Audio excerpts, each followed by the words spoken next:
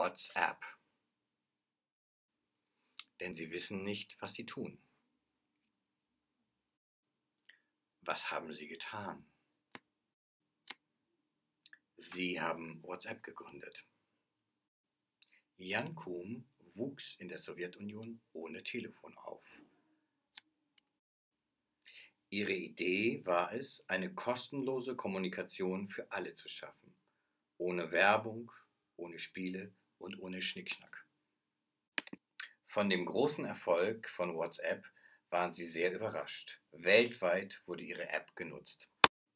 Nun wurde WhatsApp auch für andere interessant, unter anderem für Mark Zuckerberg, der schließlich WhatsApp kaufte. Damit stieß er auf die Grundsätze von WhatsApp. Keine Werbung, keine Spiele, kein Schnickschnack. Was interessiert Mark Zuckerberg von Facebook an WhatsApp? Es sind die Daten der Menschen, die es nutzen. Warum stört es niemanden bei WhatsApp mit seinen persönlichen Daten zu zahlen?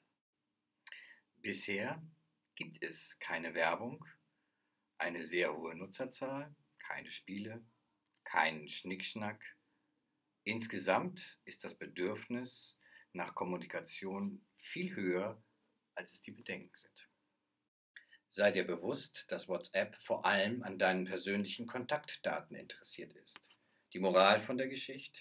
Nichts bei WhatsApp ist kostenlos, außer der Kommunikation und die kostet deine Daten.